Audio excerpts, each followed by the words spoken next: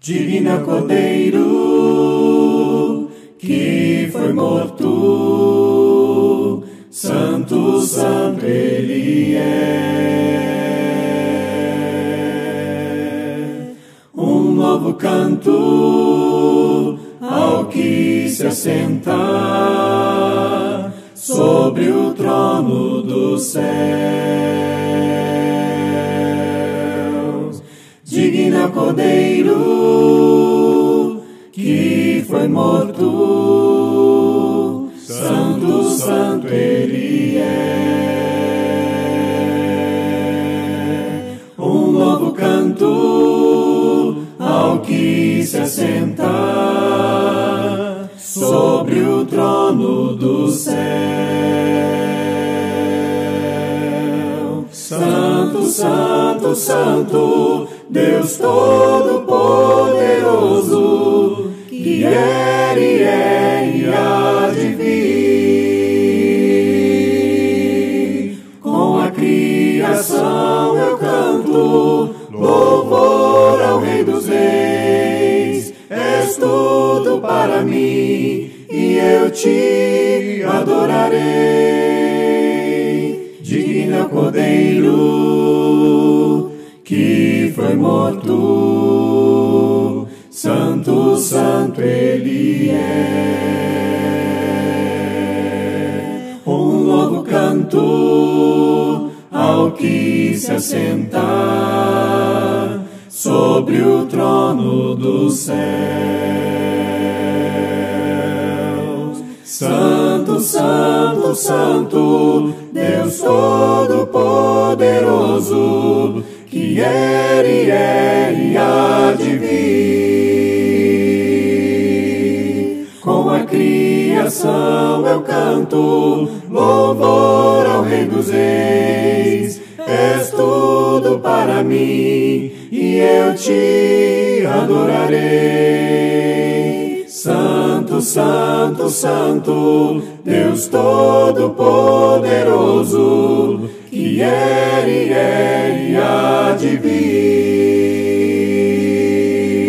Com a criação eu canto, louvor ao Rei dos Reis. És tudo para mim e eu te adorarei.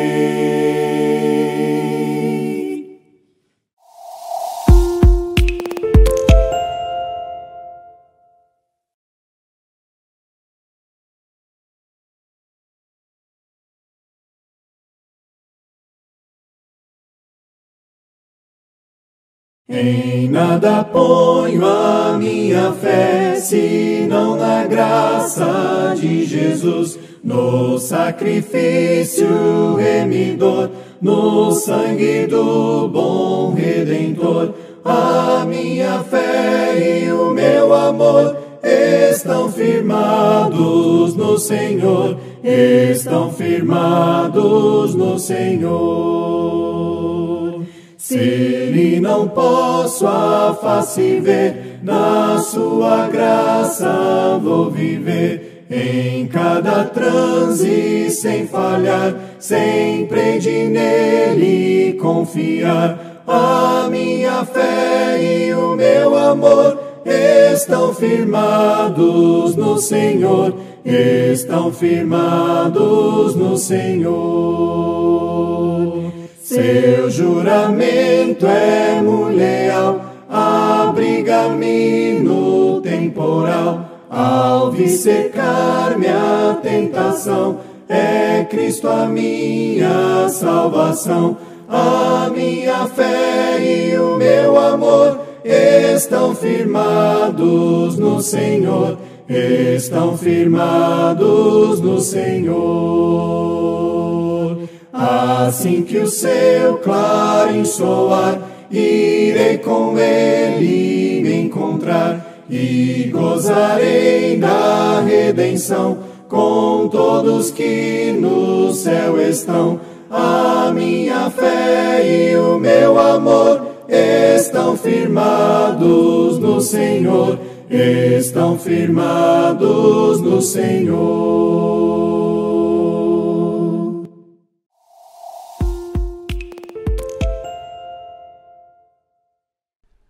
Bom dia, Igreja de Deus. Que a paz, o amor do Senhor Jesus Cristo esteja habitando ricamente em suas vidas, seus corações nesta manhã. Que neste dia especial de adoração e glorificação de Deus, possamos meditar no que somos, no que representamos para nosso Deus, o, o Senhor que nos chamou para sermos eh, santos, separados e também sermos sacerdotes reais diante dele. E Jesus, o nosso sumo sacerdote, ele ofereceu o sacrifício perfeito pelo pecado. Lá no livro de Hebreus, no capítulo 9, versículos de 11 a 12, diz o seguinte: Quando, porém, veio Cristo como sumo sacerdote, não por meio de sangue de bodes e de bezerros, mas pelo seu próprio sangue, entrou no Santo dos Santos uma vez por todas, tendo obtido eterna redenção. Hebreus também, capítulo 9, versículo 26 diz: Jesus se manifestou uma vez por todas para aniquilar pelo sacrifício de si mesmo o pecado. Como sumo sacerdote, era necessário que Jesus fizesse um sacrifício para entrar no santuário celestial. E hoje, nós, os cristãos, seguidores de Cristo, somos também sacerdotes de Deus e devemos oferecer sacrifícios agradáveis ao Senhor. Não oferecemos sacrifícios pelo pecado, porque o sacrifício de Jesus é único e traz o perdão. Mas o sacerdócio do, dos cristãos hoje envolve sacrifícios, como lá em Pedro, capítulo 2, versículo 5, diz assim: Também vós mesmos, mesmo como pedras que vivem, sois edificados casa espiritual para ser de sacerdócio santo, a fim de oferecer de sacrifícios espirituais agradáveis a Deus por intermédio de Jesus Cristo. Oferecemos a Deus o sacrifício de louvor. Hebreus capítulo 13, versículo 15 diz: Mais ainda, o discípulo de Jesus nega a si mesmo. Marcos, no capítulo 8, versículo 34, diz: Crucifica a carne e suas paixões. Gálatas capítulo 5, versículo 24 diz: É crucificado com Cristo. E Gálatas capítulo 2, versículos 19 a 20 diz: E dá a si mesmo ao Senhor. Segundo Coríntios também, no capítulo 8, versículo 5, diz: Dessa maneira apresentamos o nosso corpo por sacrifício vivo, santo agradável a Deus. Romanos 12, 1. Esse é o nosso sacrifício diante de nosso Deus nesta manhã de adoração e momento de louvor, onde vamos juntos adorar e glorificar a esse Deus maravilhoso, oferecendo a nós mesmos, primeiramente como um sacrifício vivo e agradável ao nosso Deus. Vamos glorificar, vamos adorar a esse Deus. Gostaria de convidar você a estar orando comigo para adorar esse Deus. Querido Deus e Pai Todo-Poderoso, somos gratos ao Senhor nesta manhã por nos permitir chegar na Tua presença, Pai, em espírito e em verdade, assim como o Senhor espera dos seus verdadeiros adoradores e queremos adorar o Senhor com todo o nosso coração, com todo o nosso entendimento, Pai, e colocar diante do Senhor nossas vidas e pedir ao Senhor, Pai, que esteja cuidando de cada um de nós. Não nos deixe nos perder no caminho que estamos trilhando até chegar na presença do Senhor, Pai. E que o Senhor nos guarde até a volta de Jesus. É o que pedimos ao Senhor em nome do Senhor Jesus.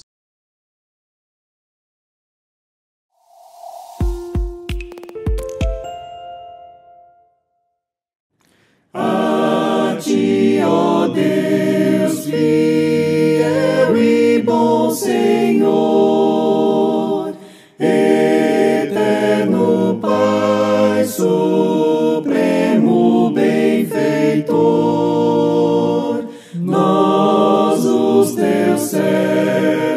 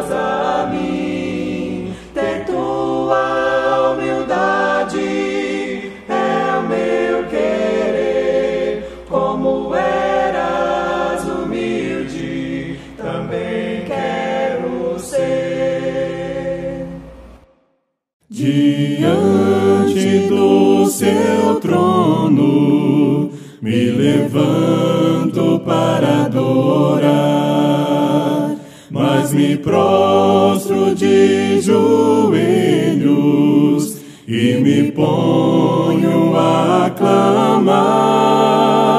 Incendeia minha alma, faça o fogo brilhar. santifique o meu ser e acenda o meu querer.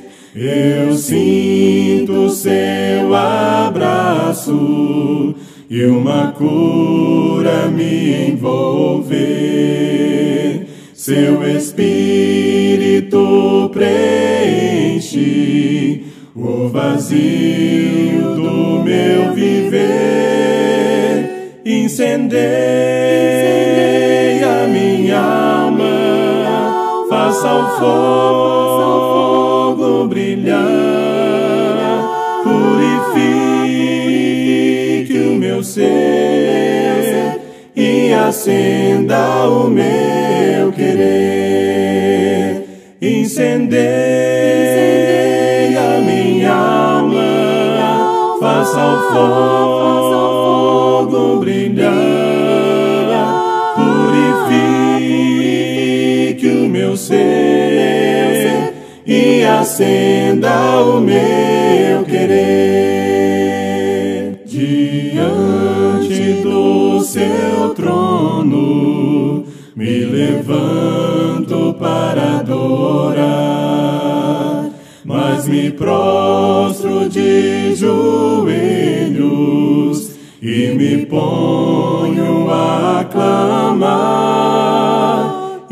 Incendeia minha alma, faça o fogo brilhar, purifique o meu ser e acenda o meu querer. Eu sinto seu abraço e uma cura me envolver.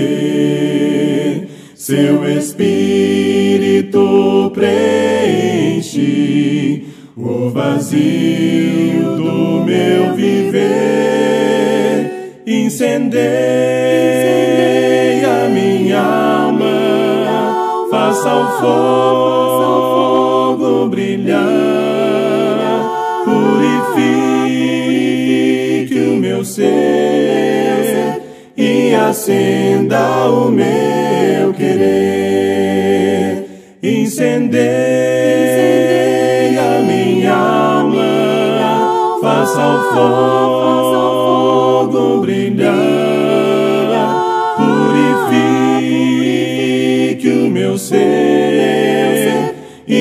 acenda o meu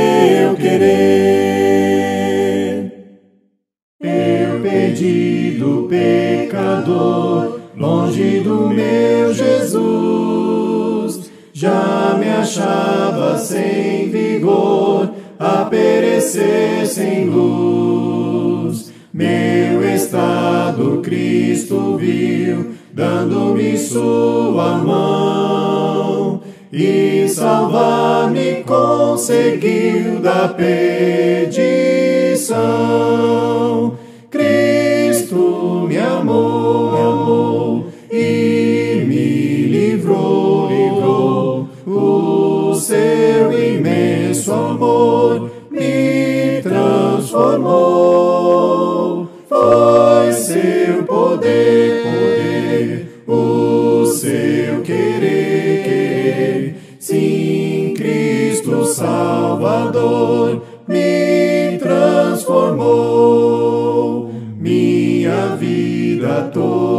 Ser, quero lhe consagrar.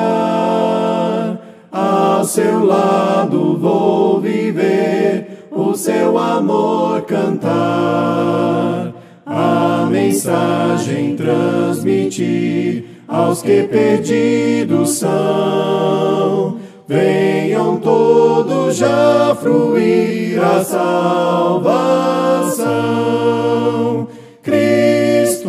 Me amou, me amou e me livrou, livrou. O seu imenso amor me transformou. Foi seu poder, poder, o seu querer, querer. Sim, Cristo Salvador me transformou.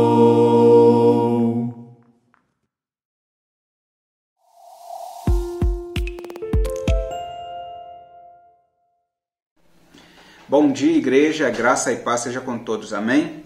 Graças a Deus estamos reunidos em mais uma oportunidade que Deus nos dá de participar da ceia do Senhor, né? E que possamos voltar nossas mentes, nossos corações a Cristo, que realmente importa. Vamos fazer algumas leituras, são três passagens. A primeira é em Isaías 53, versículos de 4 a 6. Isaías 53, versículos de 4 a 6. Vamos à leitura. Certamente ele tomou sobre si as nossas enfermidades e levou sobre si as nossas doenças. Contudo, nós o consideramos castigado,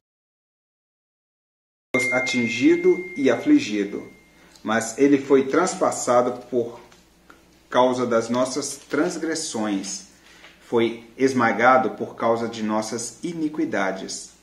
O castigo que nos trouxe a paz estava sobre ele, e pelas suas feridas fomos sarados. Versículo 6. Todos nós, tal qual ovelhas, nos desviamos, cada um de nós se voltou para o seu próprio caminho, e o Senhor fez cair sobre ele a iniquidade de todos nós. A próxima passagem se encontra em 2 Coríntios, 2 Coríntios capítulo 5, versículos de 14 a 21. 2 Coríntios 5, versículos de 14 a 21. Vamos à leitura. Pois o amor de Cristo nos constrange, porque estamos convencidos de que um morreu por todos, logo todos morreram. E ele morreu por todos para que aqueles que vivem já não vivam mais para si mesmos, mas para aquele que por eles morreu e ressuscitou. De modo que, de agora em diante, a ninguém mais consideremos do ponto de vista humano, ainda que antes tenhamos considerado Cristo dessa forma, agora já não o consideramos assim. Portanto, se alguém está em Cristo, é nova criação as coisas antigas já passaram, e eis que surgiram coisas novas. Tudo isso provém de Deus, que nos reconciliou consigo mesmo por meio de Cristo e nos deu o ministério da reconciliação. Ou seja, que Deus em Cristo estava reconciliando consigo o mundo, não levando em conta os pecados dos homens, e nos confiou a mesma a mensagem da reconciliação. Portanto, somos embaixadores de Cristo, como se de Deus estivesse fazendo seu apelo por nosso intermédio. Por amor a Cristo, lhe suplicamos: reconciliem-se com Deus. Deus tornou pecado por nós aquele que não tinha pecado, para que nele nos tornássemos justiça de Deus. Interessante, irmãos, essa, essa passagem, essa explanação de Paulo né, sobre a cruz, né, que nos traz o significado de reconciliação. Nós antes vivíamos separados de Deus por causa dos nossos pecados. Mas por meio de Cristo nos tornamos novas criaturas e eis que tudo se fez novo. Então, não nos cabe olhar para trás, não nos cabe olhar para a cruz e ficar com tristeza, porque através desse sacrifício nós fomos aproximados, nós fomos justificados através de Jesus. Então a cruz nunca será para nós como cristãos vergonha, porque na verdade, é um ato de amor, é um ato que nos aproxima de Deus. É através da cruz que nós temos livre acesso ao Pai. E nós rogamos né, que Deus tenha sempre misericórdia de nossas vidas e que nós possamos a cada dia viver justificados através de Jesus. Que Deus possa nos abençoar. Vamos a, ah, participar da ceia, mas vamos ler Mateus 26, de versículo 26 até 29. Mateus 26, de 26 a 29. Enquanto comiam, Jesus tomou o pão, deu graças, partiu-o e o deu aos seus discípulos, dizendo: Tomem e comam, isto é o meu corpo. Vamos orar pelo pão, irmãos. Vamos fechar nossos olhos. Santíssimo Deus, Poderoso Pai, Senhor, graças nós te rendemos, Pai, pela oportunidade que o Senhor nos dá de poder participar da sua ceia, de poder participar da vida que Cristo tem a nos oferecer, Deus. Te agradecemos, Senhor, por ter dado o seu Filho para nos resgatar dos nossos pecados. Como disse o profeta Isaías, ele levou sobre si as nossas dores. O castigo que nos traz a paz estava sobre ele. E pelas feridas de Jesus nós somos sarados, Pai. Que neste momento, Deus, nós possamos voltar nossas mentes, nossos corações ao Senhor, que realmente importa. Nós te honramos e te agradecemos, Deus, por tudo que tem feito por nós. Amém, Senhor.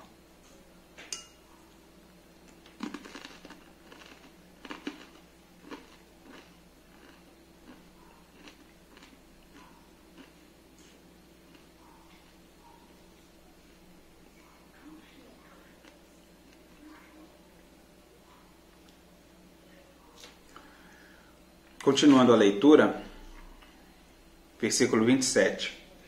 Em seguida, tomou o cálice, deu graças e o ofereceu aos discípulos, dizendo: Bebam dele todos vocês.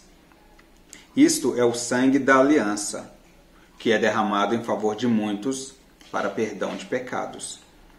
Eu lhes digo que, de agora em diante, não beberei deste fruto da videira até aquele dia em que beberei o vinho novo com vocês no reino de meu Pai. Vamos orar pelo suco. Santíssimo Deus, amado Pai, Senhor, obrigado, Senhor, pelo Senhor ter feito um sacrifício de amor. Obrigado, Pai, por ter derramado o seu santo sangue naquela cruz para nos lavar, nos purificar dos nossos pecados, das nossas falhas e hoje nós temos livre acesso ao Senhor com nossas vestes limpas, mais alvas que a neve, Pai. E nós te rogamos, Deus, que continue nos direcionando rumo à salvação, nos encha do teu Espírito Santo e que possamos tomar as nossas, as nossas dificuldades e colocar aos teus pés, Pai. E possamos pegar o seu, o seu fardo, porque o seu fardo é leve e suave, Pai. E nós cremos que o Senhor é o Deus mesmo Deus ontem, hoje e sempre. Em nome de Jesus é que nós te oramos e te agradecemos, Senhor. Amém.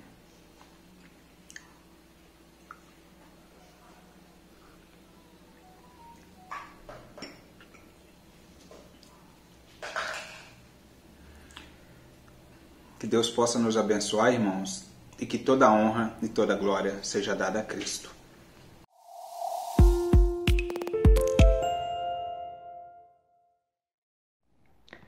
Olá, eu queria compartilhar com você hoje um texto para oferta, para nossa meditação, que se encontra em Êxodo, capítulo 16, onde nós podemos é, observar o cuidado de Deus e a provisão que o Senhor manda para o povo de Israel quando o povo tinha ali acabado de sair do Egito. Então Deus faz chover para aquele povo o maná do céu. Então diz a palavra que o povo estava andando pelo deserto e começou a murmurar, né, porque estava faltando comida.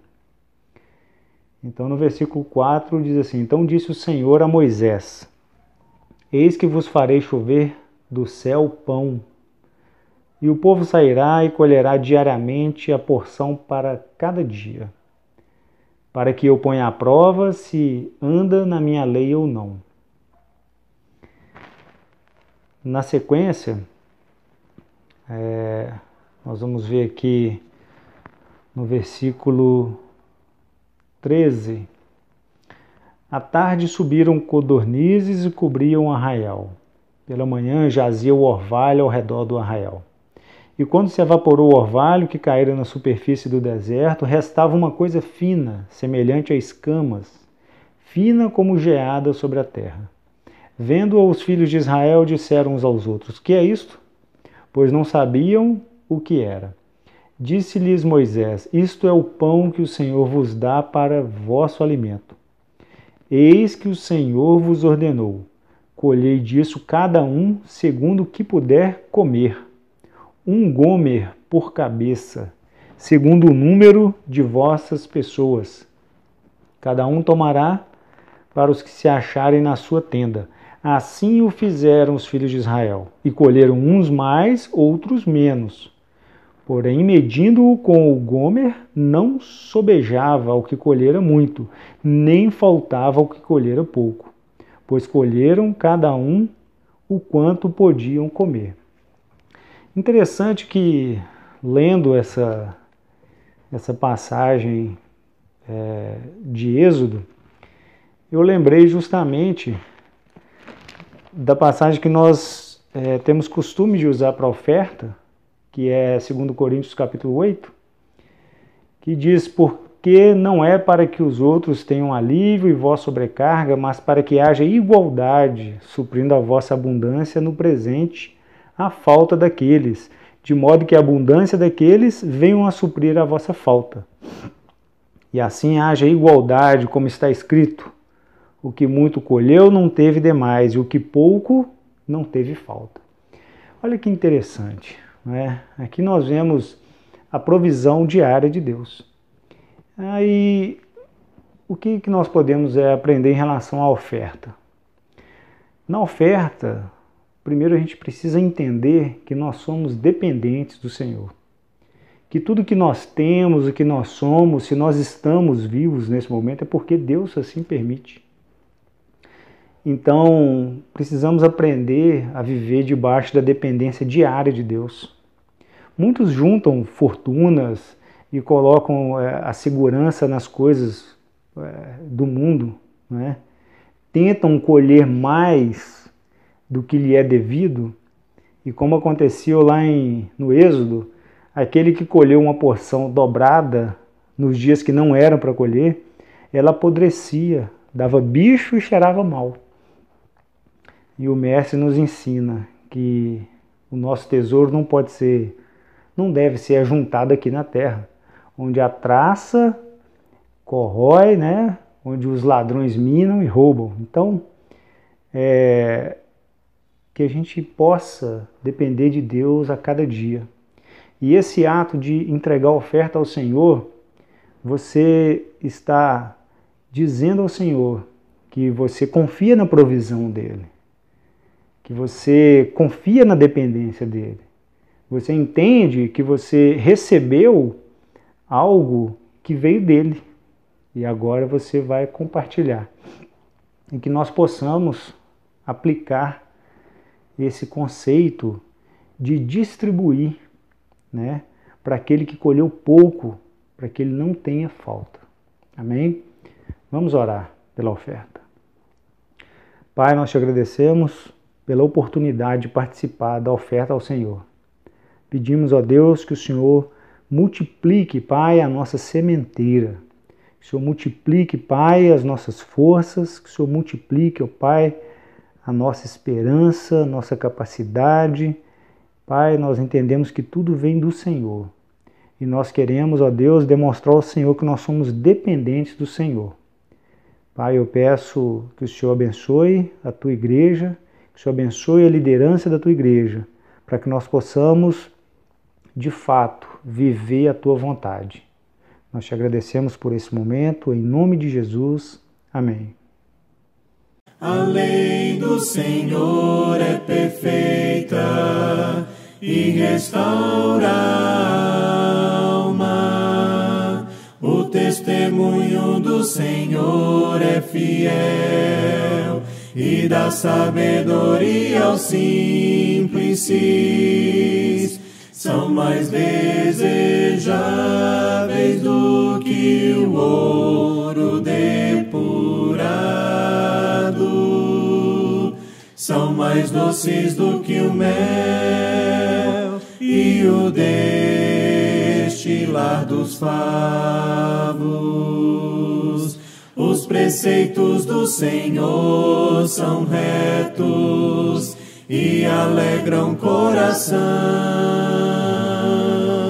O mandamento do Senhor é puro ilumina os olhos, são mais desejáveis do que o ouro depurado, são mais doces do que o mel e o destilar dos favos. O temor do Senhor é límpido e permanece para sempre. Os juízos do Senhor são verdadeiros e todos igualmente justos. São mais desejáveis do que o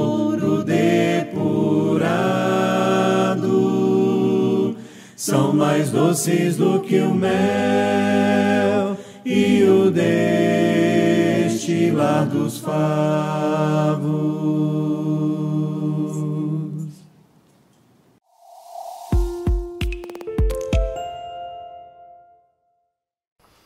Bom dia, Igreja de Deus. Que a graça e a paz do Senhor Jesus esteja no coração de cada um de nós que estamos participando deste culto de adoração a Deus. Glórias sejam dadas a Ele. Eu quero, nesta nossa mensagem, é, o tema é Basta ser como nosso Mestre. Então eu queria participar de uma leitura com a igreja. Abram as Bíblias aí em Mateus capítulo 10, que nós vamos ler um texto do versículo 1 ao 10. Mateus capítulo 10, do versículos 1 ao 10. E vamos discorrer sobre esse ensinamento do Senhor Jesus para nós, os seus discípulos nesse caso atual, para aqueles que ele escolheu, os seus apóstolos. Vamos ver. Mateus capítulo 10, versículos 1 até o 10. Diz assim a palavra do Senhor. Chamando seus doze discípulos, deu-lhes autoridade para expulsar espíritos imundos e curar todas as doenças e enfermidades. Estes são os nomes dos doze apóstolos. Primeiro, Simão, chamado Pedro, e André, seu irmão, Tiago, filho do Zebedeu, e João, seu irmão, o Filipe e o Bartolomeu, Tomé e o Mateus, o publicano, Tiago, filho de Alfeu, e Tadeu, Simão, o Zelote, e Judas Iscariotes, que o traiu. Versículo 5. Jesus enviou os doze com as seguintes instruções: Não se dirijam aos gentios, nem entrem em cidade alguma de samaritanos. Antes, dirijam-se às ovelhas perdidas de Israel, por onde forem. Preguem esta mensagem: O reino dos céus está próximo. 8 curem enfermos, ressuscitem mortos, purifiquem leprosos, expulsem demônios. Vocês receberam de graça, deem também de graça. Não levem nem ouro, nem prata, nem cobre em seus cintos. Não levem nenhum saco de viagem, nem túnica extra nem sandálias, nem bordão, pois o trabalhador é digno do seu sustento. Pois bem, irmãos, irmãos e amigos que estão participando conosco, onde quer que estejam aí nas suas casas, adorando o nosso Deus, prestando essa adoração ao nosso Deus e agora participando dessa mensagem, para que a gente possa ver que a nossa missão é ser nada mais além do que o nosso Mestre nos ensina. Então, veja bem, qualquer servo do Senhor, qualquer um de nós que perceber que as suas ações estão como as do Mestre, quando qualquer um de nós perceber que nós estamos fazendo o que aprendemos do nosso professor, quando nós entendemos que nós estamos com as mesmas atitudes do nosso mestre, eu creio que não há explicações por palavras pelo que a gente sente, porque nós estamos de uma maneira inexplicável sentindo aquele prazer de saber que nós estamos agindo como o nosso mestre. Olha, nós quando fazemos alguma coisa que a gente entende que dá certo, quando nós fazemos alguma coisa que a gente percebe que está dentro daquilo que Deus falou para a gente fazer, a gente sente uma alegria muito grande. Eu sinto. E eu creio que qualquer um de nós, quando a gente faz isso, a gente fica muito alegre, muito satisfeito por estar fazendo como o Mestre diz. Nós vimos nesse texto que foi lido que o Senhor Jesus escolheu inicialmente doze dentre aqueles que o seguiam. E se a gente olhar lá no Evangelho de Marcos, capítulo 3, versículo 13, lá está escrito que ele escolheu aqueles que ele mesmo quis. Nós somos derivados do trabalho daqueles que foram escolhidos pelo nosso Senhor Jesus Cristo. Em Marcos capítulo 3, versículos 14 e 15, diz mais um detalhe, diz mais alguma coisa da, sobre aqueles que foram chamados. Era para eles estarem com ele e deu a eles autoridade para fazerem coisas especificamente maravilhosas. Não é? E, e tem uma coisa que eu quero é, falar um pouquinho mais aqui é sobre a frase que está lá em Marcos. Eles foram chamados para estarem com ele. Jesus os chamou para estarem com ele. Eles receberiam não somente a instrução prática de várias maneiras, mas também eles teriam convívio. Eles teriam um convívio contínuo com o mestre, comunhão íntima com ele. Eles receberam instruções em particular. Se nós adiantarmos e formos lá em Marcos também, no capítulo 4, versículos 33 e 34, nós vamos ver que Jesus falava com eles em particular. Quando estavam em casa, dava instruções específicas para eles. Então, irmãos, foi lido em Mateus 10, de 8 a 10, que os discípulos, agindo da mesma maneira como eles foram instruídos, eles seriam dignos de viverem pelo resultado bom do que eles estavam fazendo. Eles receberam poder para curar, eles receberam poder para ressuscitar, eles receberam poder para curar leprosos e expulsar demônios. Eu quero falar um pouco aqui sobre esse purificar leprosos. A lepra era essa praga que nós estamos agora. Eu quero falar sobre essa lepra. Essa era uma pandemia da época de Jesus. Jesus, naqueles seus dias, ele deu poder aos seus discípulos para curar a lepra. Era a pandemia que eles viviam, que atormentavam, e era tão terrível naqueles dias que eles viviam afastados da cidade, eles viviam longe. E o que é mais triste nisso aí, que os sacerdotes fugiam do leproso. Eles ficavam excluídos lá num canto da cidade até morrer, porque não tinha cura. Hoje ninguém mais nem fala da lepra, a não ser quando a gente faz o nosso estudo bíblico, não é?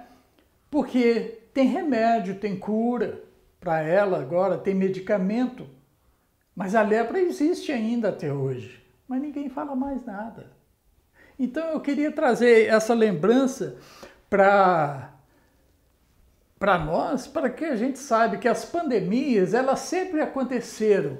As pandemias sempre existiram na em todos os tempos, mas sempre Deus tem agido de tal forma que aparece, ele abençoa, ele ilumina para que haja a cura, para que haja um medicamento que possa atenuar as dificuldades que as pessoas estão passando. Nesses nossos dias também será atenuado. Esse coronavírus passará e nós voltaremos a adorar ao nosso Deus com a liberdade de estarmos unidos, de estarmos juntos novamente, pela graça de Deus. Olha, Aqueles doze que foram escolhidos por Jesus e que receberam o nome de apóstolos, que quer dizer enviados, representantes, os embaixadores, eles foram instruídos a não receber nada pelo que fizessem. Eles não deviam cobrar nada pelo serviço que eles estavam prestando. Por quê? Todos nós somos servos de Deus. O reino é de Deus. Como que um servo pode receber de outro servo para trabalhar para o seu senhor? Então eles foram instruídos a fazer de graça o que eles estavam fazendo. O versículo 9 diz isso para nós. E o trabalho deles seria tal que nem precisavam levar provisões para viverem, se fizessem como o mestre ensinou. Aquelas pessoas que os ouvissem iam sentir tanto prazer, elas iam ficar tão emocionadas, tão abençoadas pelos que estavam ouvindo, que teriam prazer em sustentar aqueles enviados, não é? Elas ficariam porque vocês lembram lá como, quando Jesus encerrou o Sermão da Montanha, Mateus 7, 28 e 29, aquelas pessoas ficavam emocionadas, aquelas pessoas ficaram transbordantes de alegria, que as pessoas ficavam maravilhadas porque ouviram a palavra de Deus com autoridade e não como escribas e fariseus. Está escrito isso. Então, é, os iguais ao mestre, aqueles os servos, eles não precisariam levar dinheiro, eles não precisavam levar saco de viagem, nem agasalho, nem sandálias extras e nem bordão. É um pau, né? um, um, um cajado para se defender na, nas caminhadas. Né? Por quê? Eles seriam dignos de serem sustentados, receberiam dignidade pelo que eles estavam fazendo. Mas para isso, Basta ser como o mestre. Basta ser como o mestre. O serviço principal que eles tinham que fazer, o versículo 7 revela isso para nós. Anunciar que o reino dos céus está próximo. Eles tinham que fazer isso. Mas o reino já veio. O reino é a igreja, a igreja é presente. Hoje nós fazemos parte desse reino. Mas nós temos que continuar anunciando a presença do reino. Era o que João Batista tinha feito, né? O João Batista começou a pregar em Mateus capítulo 3, versículos 1 e 2. O João Batista pregava: arrependei-vos, porque está próximo o reino dos céus. Né? O, o Senhor Jesus também pregou, Mateus capítulo 4, versículo 17. O Senhor Jesus também pregou o reino dos céus está próximo. Agora é nós. Agora somos nós, os discípulos de Jesus, que temos que continuar a fazer o que ele começou. Diz o versículo 7, né? Mateus 10, 7. E o detalhe que ele fala ali para nós é que nós temos que fazer de graça. versículo 8. Não é? Isso é bom ficar bem frisado. Se nós recebemos de graça, nós temos que dar de graça. Amados, eu ficaria aqui até amanhã para podermos falar das riquezas contidas nesses, nessas instruções do Senhor Jesus aos seus discípulos, né? que elas são necessárias para o desenvolvimento do seu reino, né? mas aqueles doze foram somente os primeiros, e o resultado do que fizeram chegou até nós. Eles trabalharam de tal forma que o resultado deles chegou aos nossos dias. Irmãos, agora é a nossa vez. Nós podemos pensar direitinho que nós não podemos deixar cair esse trabalho que eles começaram. Nós não podemos deixar de anunciar as palavras do reino de Deus, as palavras do evangelho de Deus, que é o poder de Deus para a salvação. Nós temos que falar isso. Então veja que esse trabalho custou a vida do nosso mestre, custou o sangue dele. Nós temos que falar, nós temos que fazer com que as pessoas ouçam essas boas novas. Nós temos que falar para que eles sejam abençoados e motivados também a continuar como nós estamos.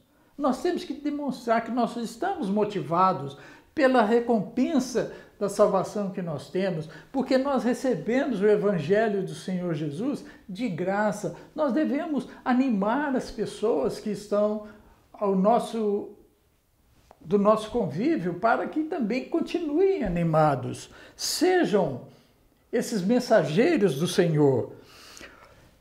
Eu creio que nós temos feito um trabalho. Nós temos trabalhado sim. Irmãos, mas nós precisamos melhorar. Sempre há o que melhorar. É o poder da palavra de Deus.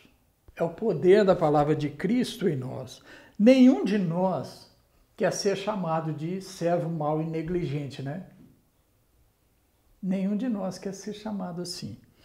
E agora, vejam comigo, vamos pensar uma motivação maior que eu posso ver nessas instruções de Mateus 10, 24 e 25, é o que Jesus passa para nós.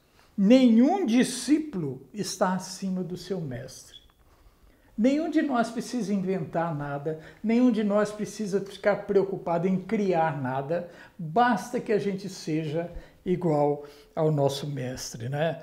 Agora, eu olho, eu olho para mim, reparo nas minhas fraquezas, reparo nas minhas dificuldades, nas minhas limitações e lembro, irmãos, Sou chamado para trabalhar para Deus. Sou chamado para trabalhar para Deus e que ainda eu devo ser como o meu mestre Jesus. Eu sou motivado a fazer mais, irmãos. Isso me motiva. Eu pensando dessa forma, eu sinto motivação para fazer mais e melhor a cada dia. Mas uma coisa muito importante, nós temos que aprender dele é importantíssima para o sucesso da nossa missão. É significativa para o bom andamento do serviço e é muito claro o ensinamento dele quando nós é, vamos lá para Lucas capítulo 6, versículo 12. Eu sei que às vezes muito de nós não fazemos, mas quando nós vamos lá em Lucas capítulo 6, versículo 12, nós passamos a entender o que fez o nosso mestre antes de definir a sua seleção. Seus doze. Ele selecionou doze.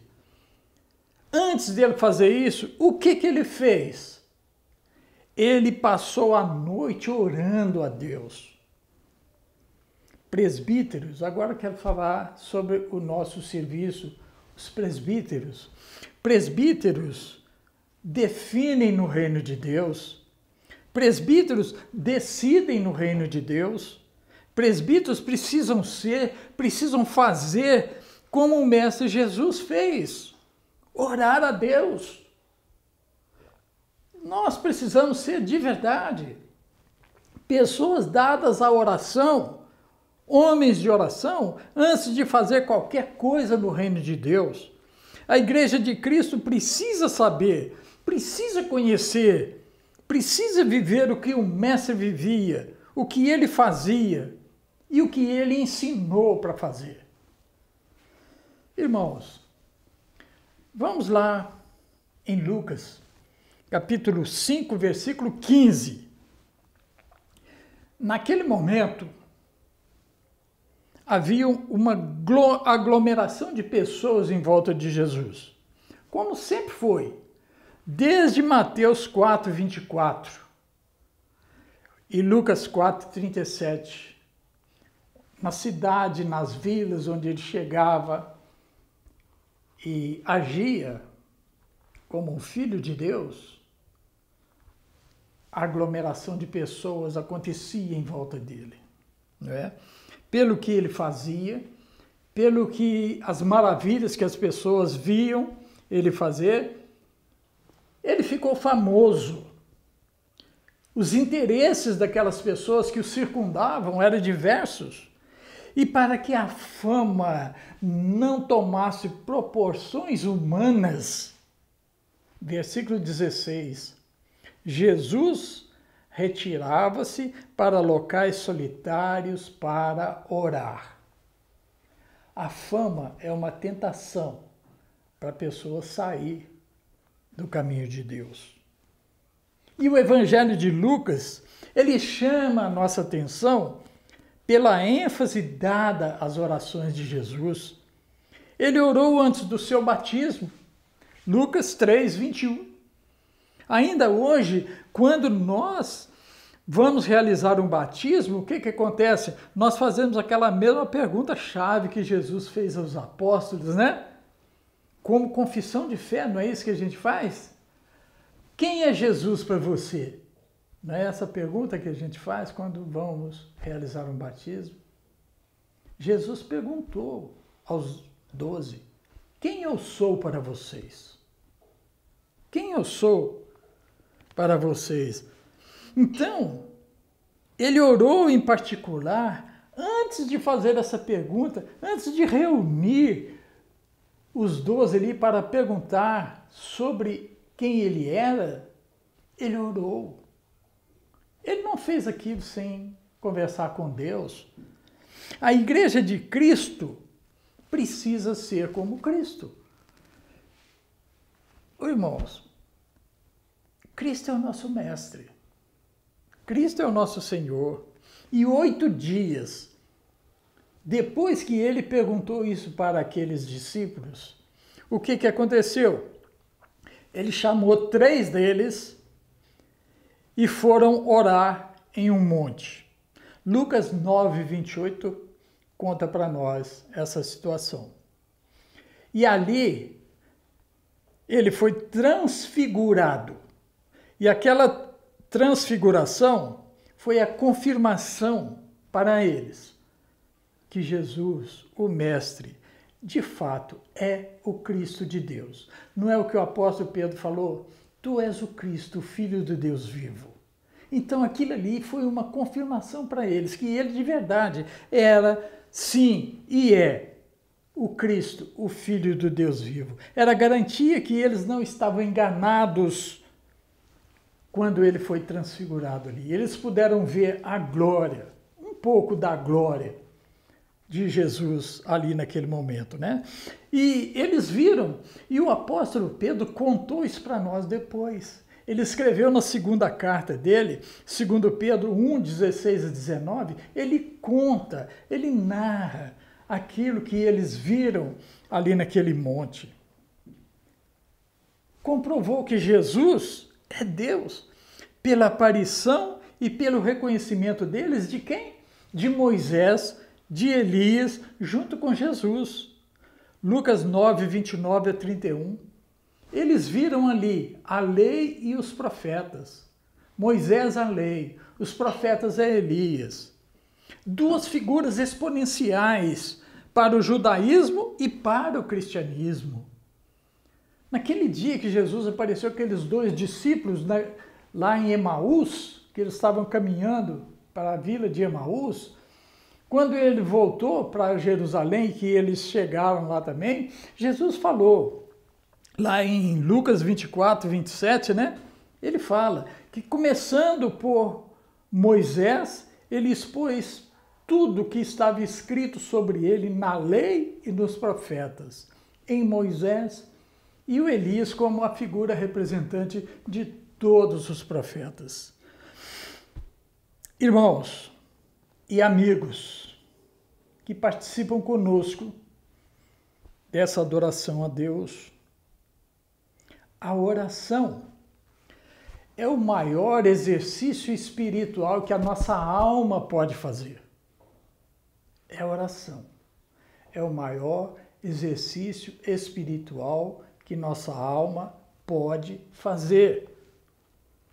Juntamente com a audição da palavra de Deus, nós obtemos o crescimento necessário para a nossa santificação.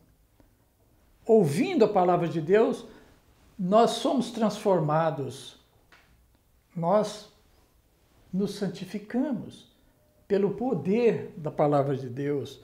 Portanto, irmãos, nós nos tornamos aptos para entrarmos no céu. Nós precisamos ouvir a palavra de Deus, porque ouvindo a palavra de Cristo, a fé vem para nós. Eu quero ler aqui um texto de Romanos, capítulo 10, para a gente fechar essa nossa participação, essa nossa mensagem nessa adoração a Deus. Olha aqui, Romanos, capítulo 10, versículos 11 ao 17. Olha o que, que o apóstolo Paulo escreve para a igreja. Romanos 10, 11 até o 17. Como diz a Escritura, todo que nele confia jamais será envergonhado. Não há diferença entre judeus e gentios, pois o mesmo Senhor é Senhor de todos e abençoa ricamente todos os que o invocam. Porque todo aquele que invocar o nome do Senhor será salvo. Como, pois, invocarão aqueles em quem não creram? E como crerão naquele em que não ouviram falar? Como ouvirão se não houver quem pregue? E como pregarão se não forem enviados? Como está escrito, como são belos os pés dos que anunciam boas novas.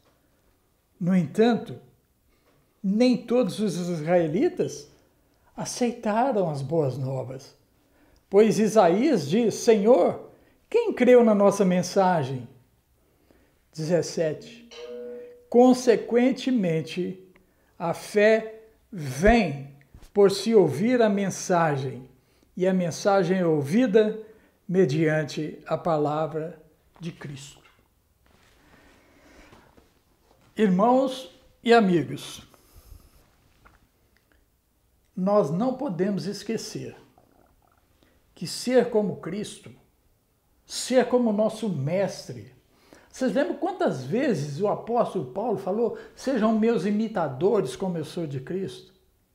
Ele está falando isso para a igreja, ele falou isso no mínimo três vezes. Sejam meus imitadores como eu sou de Cristo. Nós precisamos, então, nos inteirar disso e fazer aquilo que Deus espera que a gente seja. Não mais que o nosso mestre, mas ser iguais a ele. Não é muito bom? Não é importante? Não é a aptidão que nós temos para a entrada no reino dos céus? Mas nós precisamos entender, como está lá em Hebreus, capítulo 11, versículo 6, é impossível agradar a Deus sem fé. E a fé vem quando a gente ouve, quando a gente se inteira da palavra de Deus. Quando nós buscamos o conhecimento daquilo que o nosso Mestre está falando para nós. E esse é o momento em que nós estamos prontos para ouvir cada vez mais o nosso Mestre, porque nós estamos em casa. Desligue sua televisão, ligue-se na Bíblia, ligue-se na Palavra de Deus. Nós não podemos esquecer o que Hebreus 12, 14 diz: sem santificação, ninguém verá o Senhor. E nós, irmãos, nós somos abençoados, porque nós estamos em condições completas de ouvir, de crer, crescer espiritualmente, crescer na palavra de Deus e nos tornarmos prontos para a entrada no céu. Que Deus nos abençoe, que Deus cuide sempre da igreja dele, que Deus seja sempre louvado e exaltado por todos aqueles que o temem. Vamos orar? Santíssimo Deus, nosso Pai e nosso Senhor, no nome de Jesus Cristo, nós nos colocamos diante do Senhor para agradecer esse momento em que o Senhor nos deu aqui nos confraternizamos em espírito e em verdade. Nós participamos dessa adoração ao Senhor porque o Senhor capacitou homens. O Senhor abençoou a inteligência deles para o desenvolvimento dessa tecnologia que nos capacita para fazermos esta adoração que é vista, é, compreendida por várias partes do mundo por isso, Senhor, muito obrigado. Abençoe esses cientistas, abençoe esses homens da ciência que estão trabalhando para descobrir esse medicamento, essa vacina que possa coibir a infecção desse vírus. Como que estão essa pandemia que seja estancada, Senhor. Nós imploramos em nome de Jesus e confiamos que o Senhor está agindo. Nós sabemos que o Senhor não está parado, mas tudo é no seu tempo, tudo é conforme a sua vontade. Muito obrigado, Pai, porque o Senhor nos orientou, o Senhor nos edificou, o Senhor nos tem diante de si e nós queremos passar a eternidade com o Senhor. Abençoe a igreja do Senhor. Abençoe todos aqueles que invocam o seu nome, todos aqueles que estão procurando saber e conhecer mais a verdade pura e simples do Senhor. Abençoe, Senhor Deus, faça com que essas pessoas tenham esta oportunidade. Abençoe, Senhor Deus, para que nenhum desses que estão ouvindo a mensagem do Senhor nessa transmissão via internet, que todos eles, Pai, cheguem ao conhecimento verdadeiro do Senhor. Dê a oportunidade necessária a cada um dessas pessoas, a cada um dessas pessoas que estão participando, que estão assistindo, que estão vendo, estão ouvindo a mensagem do Senhor. Muito obrigado, Pai. Abençoe sempre a sua igreja. Cuide sempre, Pai, como é a proposta do Senhor para todos aqueles que o temem. Obrigado, Senhor. Em nome de Jesus é que oramos agora e sempre. Amém e amém. Graças eu te dou, Pai, pelo preço que pagou, sacrifício de amor que me comprou, ungido do Senhor, pelos cravos em tuas mãos Graças eu te dou, ó Jesus, lavou minha mente e coração, me deu perdão, restaurou minha comunhão.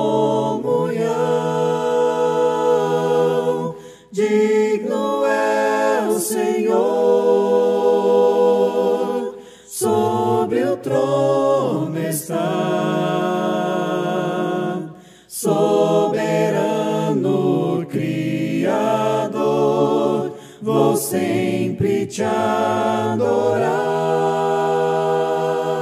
Elevo minhas mãos ao Cristo que venceu,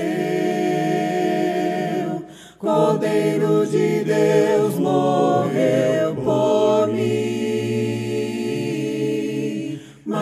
ressuscitou. Digno é o Senhor, graças eu te dou, Pai, pelo preço que pagou, sacrifício de amor que me comprou.